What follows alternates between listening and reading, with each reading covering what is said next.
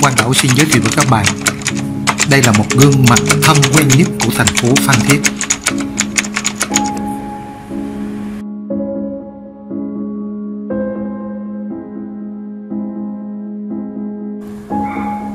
Khởi tố và khám xét nhà ông Đỗ Ngọc Điệp.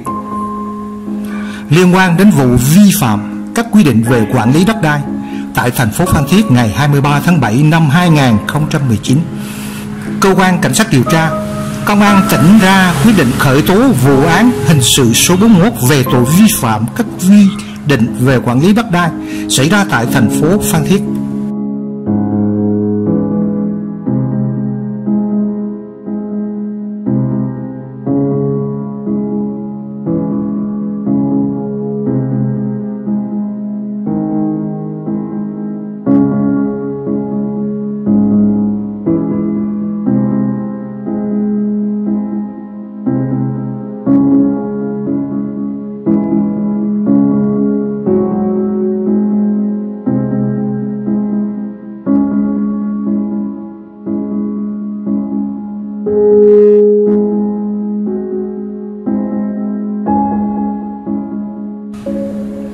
Đến 17 giờ 30 ngày hôm nay, ngày 16 tháng 12, một tổ công tác của công an tỉnh đã đưa ông Đỗ Ngọc Điệp, Chủ tịch Hội đồng Nhân dân thành phố Phan Thiết, nguyên phó bí thư trường trực thành phố Phan Thiết đến trụ sở công an xã Tiến Lợi để tiến hành tống đạt quyết định khởi tố bị can đối với ông Đỗ Ngọc Điệp.